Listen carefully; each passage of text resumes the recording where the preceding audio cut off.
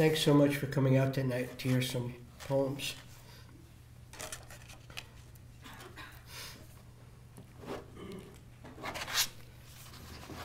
So much beauty in the world, trills Macy Gray, and the studio crew claps rhythmically into the mic as though the response to beauty should be applause. And in fact, it was each summer evening in the 80s at the outdoor cafe on the cliff on Ios, where the rousing final movement of Dvorak was synced to the sun's declension, so that the orchestra crescendoed, then abruptly ceased at the precise moment the amaranthine disk of sun dissolved into the Aegean, all of us burnt and stoned and giddy as we burst into applause before nimbling the goat paths to hostels where we showered in anticipation of the modest debaucheries of night.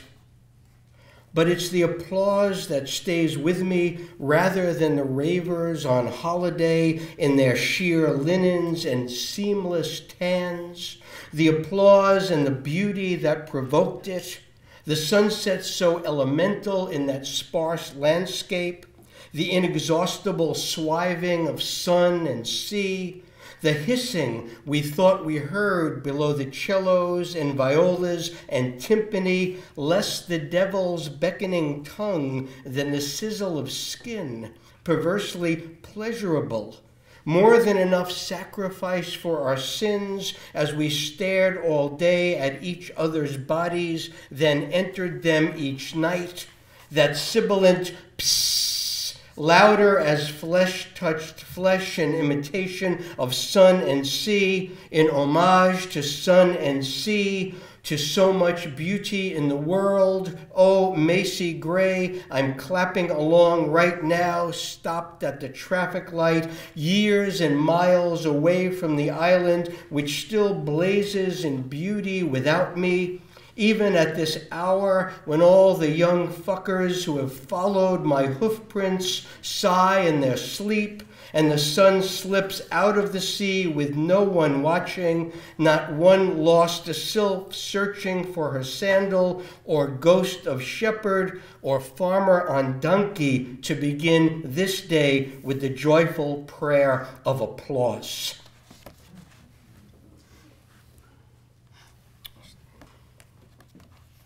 I'm going to stay on this island of Ios for a couple of poems. It's, in, it's a Greek island in the Cyclades, and I lived there off and on during the 1980s, sometimes for as long as five months.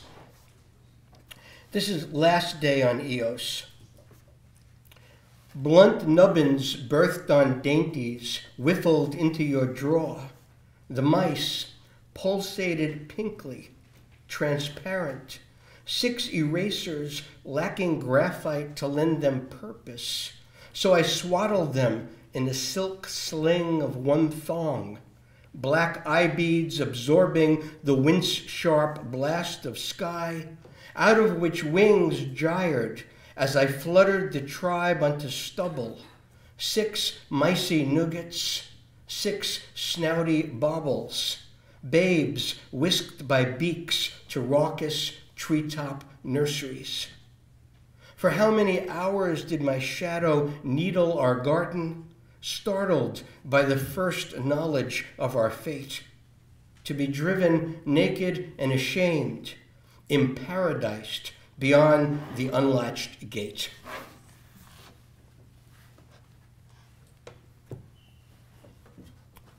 So back in the mid 80s, my parents were coming over to, to visit, and I wanted to take them to some of the islands. But Ios was one of those places where um, a lot of you know European teenagers would go. It was a nude beach, and I figured my parents weren't, going to be so comfortable there. And so I looked at some other islands, and I, I went to this island called Skiathos. And while I was there one night, this dog came out, and I gave him some food that I was eating, and he wound up staying with me then for the rest of that week. He just was with me everywhere. When I went back to my room at night, he slept outside the door. And when I opened the door in the morning to come out, he was waiting there and he just started trotting along with me. And when I left the island, got onto the ferry, he was there, right there on the pier, then watching me pull away. And I felt, I thought, oh, what a great dog this was. Wish I could bring him home. Right? So about a month later, my parents come, and we're taking the ferry back to the island. And I said, oh, and there was this really cool dog that I like so much, you know, and maybe we'll see him, who knows, and stuff. So we get there, and that night we're eating at a cafe, and I say, look, and here comes the dog, and he's just kind of trotting along, trotting along. He looks over at me, and he looks back, and then he goes, "Whoa!" like that. It was this great, like doggy double take, and I thought, oh. And then he wound up hanging out with us for the whole rest of that week too. So we go, we go home, say goodbye again, and I tell my friends in Athens about this dog, and they all look at each other, and they say, "Oh, you know what happens to those dogs once the tourists leave?" And I thought, well, no, I didn't know what happened to them, and why would I want to know about that anyway? And so, I don't know if this poem makes it fully clear, but I hope so. It's called Zeus, Cyclops, Plato, Gaia. Home in winter, bored backpackers scroll through pics of dogs they fed all summer, recalling the names given them how each skinny rag hobbled from a doorway to tug lamb sausage from outstretched fingers, then offered one ear to be stroked before following those hands to hostels where they waited all night in the courtyard, huddled with cousins, dreaming of sheep. How the dogs yipped on the wharf as the ferry slipped away before slinking back to shadowy nooks before shepherds, once October diminished, swept through cobbled village streets to hoist, scruff by scruff, onto the beds of empty vegetable trucks all the island dogs they could gather, then clattered the dirt road to the God shunned cliffs, overlooking, in every thumb to photo, the unforgivably blue Aegean. So what would happen is that um, when they weren't being fed any longer, the dogs would form packs, and then they would go after the sheep, and so the farmers needed to to get rid of them. So, and if you got through that winter, and then you, you snuck around again uh, when the tourists came back. So here's another poem. This is, this is a poem set in Mihaela's uh, Romania. Um, um, there's, a, there's a hat that you see men wearing in Eastern Europe and in the Middle East and into India, in fact. And it's, it's a kind of hat that from the side, um, it looks like it's kind of curly wool, and from the side, it looks like a, a boat or a football, and from front, it's kind of a, a triangle, and it's called a karakul. And this poem is about that hat, karakul. In summer, the storks nest on telephone poles.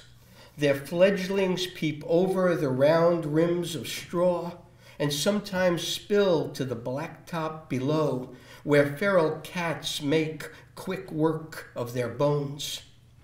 The nests remain empty all winter until those storks return to the same nest once more. This winter, ISIS has been all over the news, dragging blades across journalists' throats, kindling gas soaked soldiers in cages, flinging gay students off rooftops of mosques, hammering to rubble the ancient sites. Better to begin again with cruelty so the world might be purged of its past. Here, as in many parts of the East, every man of a certain age wears a wool karakul through winter. The best hats are sewn from the pelts of lamb fetuses slit from the womb, and bought by politicians to flaunt and wave as they march in national holiday parades. Next in quality are the pelts of newborns, killed as they slip from mother to pasture. A single skin equals a single hat. It's the workmanship and the material. The wooden needle looping infinities as the bobbin spins out the fur, its incomparably soft liquid texture with subtle shadings ranging from eggshell white to northern night that set the karakul apart, but still In the back of my mind, there endure the crinkled corpses, the mothers crying out for their offspring, and the men who continue to perfect their art.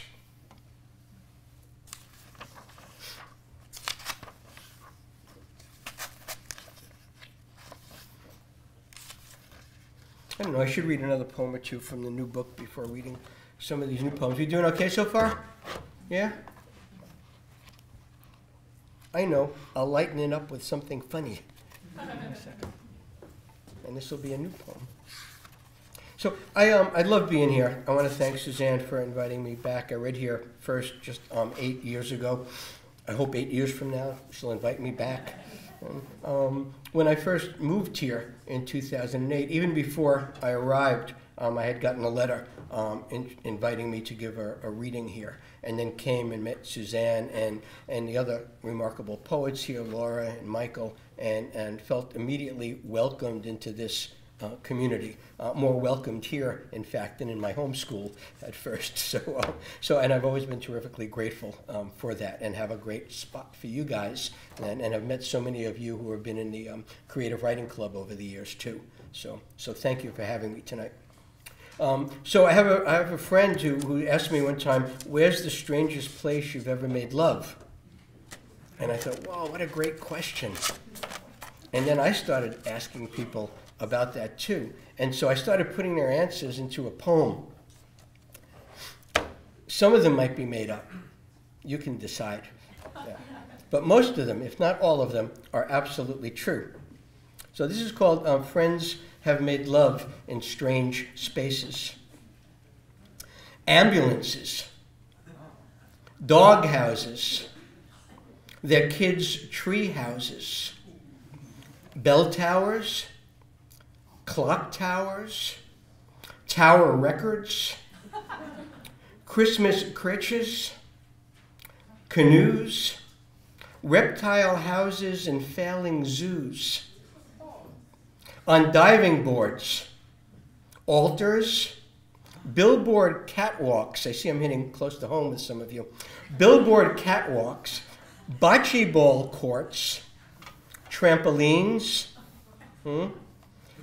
on that bathtub sized, gilt framed Victorian mirror that once may have pleasured a brothel wall, propped in the scenic route antiques barn, till we roofed it home, let it gulp blue sky, gentled it onto the rug, windexed it, the glass breathing light, drawing depth. Hmm. Then swam together on that melting glacier. Above the fluid couple who quickened beneath us, wavery twins flashing below the surface, who gave themselves fully, flesh by flesh by flesh, before breasting up to resume their labor, to heft the mirror onto our parlor wall. Look how they grin, those wild ones those swingers.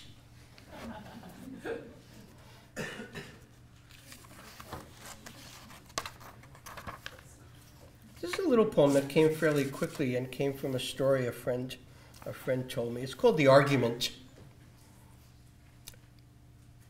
Tonight I think of the married couple living apart in distant states who date one night each week they dine together via Skype, laptops propped on tables, each alone in the other's company, speaking of students and empathy, attempting one another with plump olives and Chilean reds.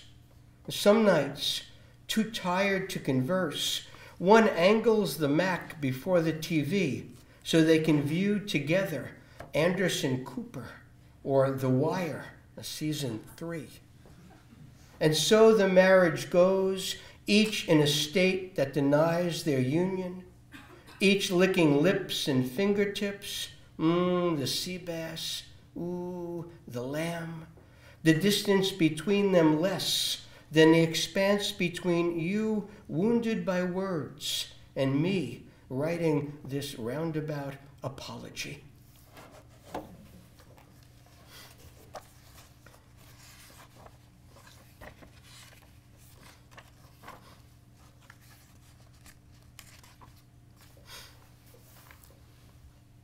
So I've been writing poems. Um, um, I, I didn't realize what they were about, I guess, until I, I was showing them to Mihaela when they were finished. And she, she looked at me and she said, Oh, God, this is so sad.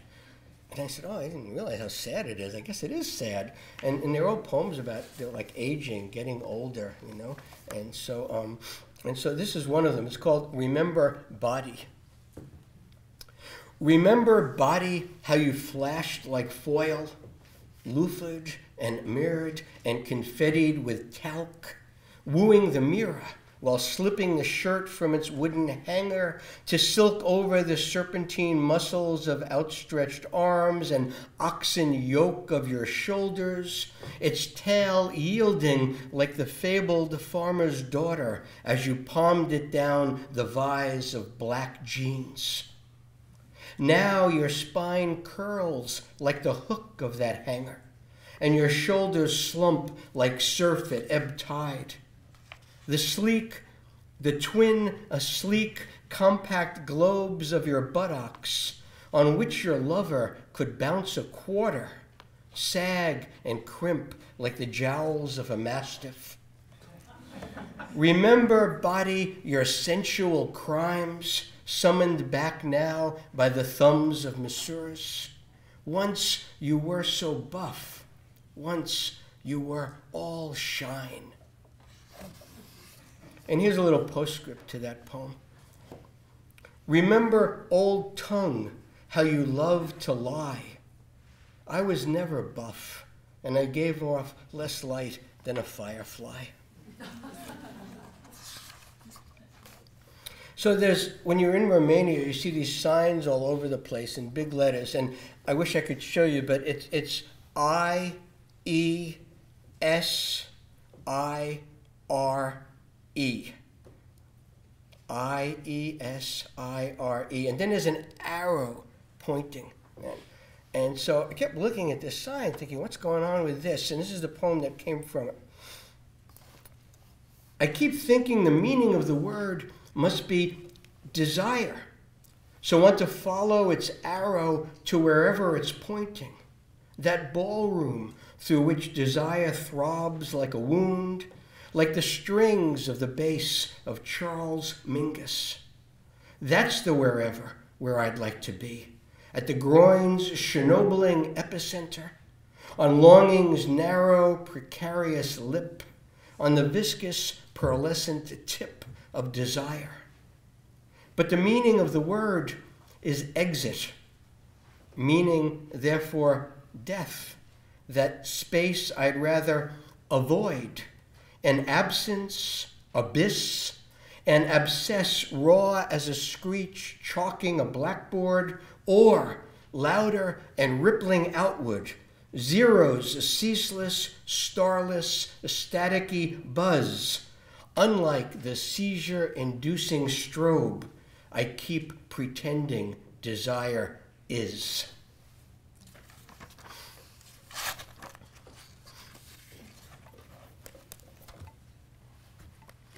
Here's the, um, the poem from which the title Celestial Joyride comes from. It's a little poem titled Old School. Seth wrestled the Camaro with one fist and popped handfuls of pills while the pistol rode on my thigh. I shouted, Is it loaded? over Grandmaster Flash. Amateur thug, he slipped the piece into his boot and swaggered like a bouncer into the funeral home. Sunglassed still and jittery, he scanned the room, swept past uncles to the open coffin, knelt there, then wedged the gun between our father's thumbs, insurance for the celestial joyride, and tattooed, pierced, and fucked up, bowed his shaven skull and wept.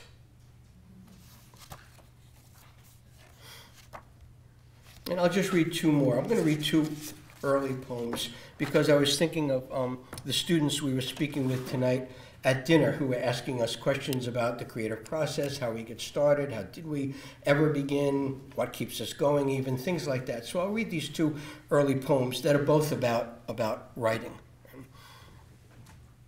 This one is called The Mystery of the Caves. I don't remember the name of the story but the hero, a boy, was lost, wandering a labyrinth of caverns, of filling stratum by stratum with water. I was wondering what might happen. Would he float upward toward light, or would he somersault forever in an underground black river? I couldn't stop reading the book because I had to know the answer, because my mother was leaving again. The lid of the trunk thrown open, blouses torn from their hangers, the crazy shouting among rooms. The boy found it impossible to see which passage led to safety. One yellow finger of flame wavered on his last match. There was a blur of perfume. Mother breaking miniature bottles. Then my father gripping her, but too tightly, by both arms. The boy wasn't able to breathe.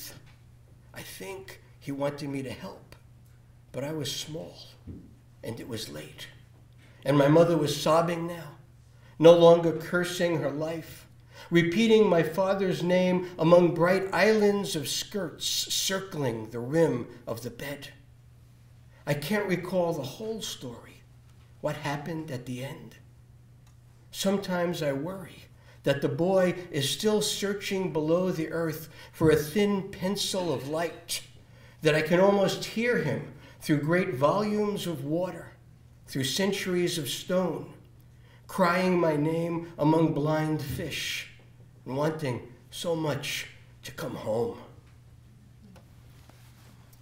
And this is a poem called Horse. The first horse I ever saw was hauling a wagon stacked with furniture past storefronts along Knickerbocker Avenue. He was taller than a car, blue black with flies, and bits of green ribbon tied to his mane bounced near his caked and rheumy eyes. I had seen horses in books before, but this horse shimmered in the Brooklyn noon. I could hear his hooves strike the tar, the colossal nostrils snort back the heat, and breathe his inexorable, dung tinged fume. Under the enormous belly, his swung like the policeman's nightstick, a dowsing rod longer than my arm. Even the Catholic girls could see it hung there like a rubber spigot.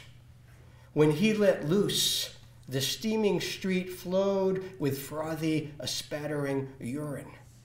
And when he stopped to let the junk man toss a tabletop onto the wagon bed, I worked behind his triangular head to touch the foreleg above the knee, the muscle jerking the mat of hair. Horse I remember thinking, four years old and standing there, struck momentarily dumb, while the power gathered in his thigh surged like language into my thumb. Thank you very much.